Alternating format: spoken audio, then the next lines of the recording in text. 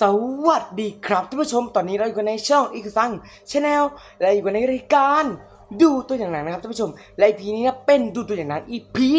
23แล้วท่านผู้ชมอะดูตัวอย่างหนัง EP 23นะครับ EP นี้ผมจะพาทุกท่านครับมาดูตัวอย่างหนัง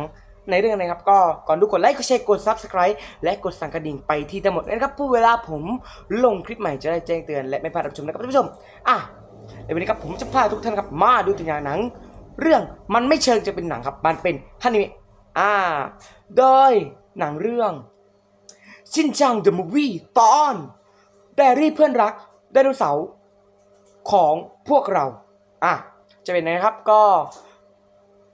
ต้องไปติดตามชมกันนะครับ เขาจะเข้าฉายในวันที่ 29 สิงหาคม 2024 ในโรงภาพยนตร์นะครับท่านผู้ชม แต่ก่อนอื่นตอนนี้เราไปดูตัวอย่างฮานิเมะกันเลยครับ จะพาไปมิกิเวที่มีแต่ท้องทะเลสวนสนุกที่มีไดโนเสาร์อาศัยอยู่ ไม่อยากจะเชื่อเลยเนาะที่มีไดโนเสาร์คืนชีพกลับมาในยุคนี้น่ะเป็นเรื่องน่าเหลือเชื่อมากเลยครับนายทำอะไรอยู่นะฮะคือการพบกัน ในช่วงฤดูร้อนอันแสนสั้นอ้าวน่ารักจังเลย นี่มันตัวอะไรกันนะฮะ ขอเลี้ยงไว้ที่บ้านได้ไหมครับ จะช่วยกันดูแลด้วยล่ะค่ะ ขอร้องร้องนะแสงออร่าคือเนาะเขาชื่อนานะนะครับไดโนเสาร์ตัวนี้พิเศษมันกำลังจะเริ่มขึ้นแล้วสินะเอ๊ะการเติบโตช่วงหน้าร้อน อย่าไปสอนอะไรแปลกๆได้ไหม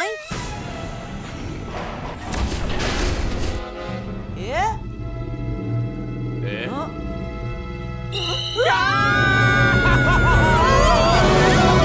เอ๊ะไดโนเสาร์ออกอาละวาดเลยครับตอนนี้ไม่มาฉันจะเหลือที่ต้องปล่อยอีก 32 ปีแท้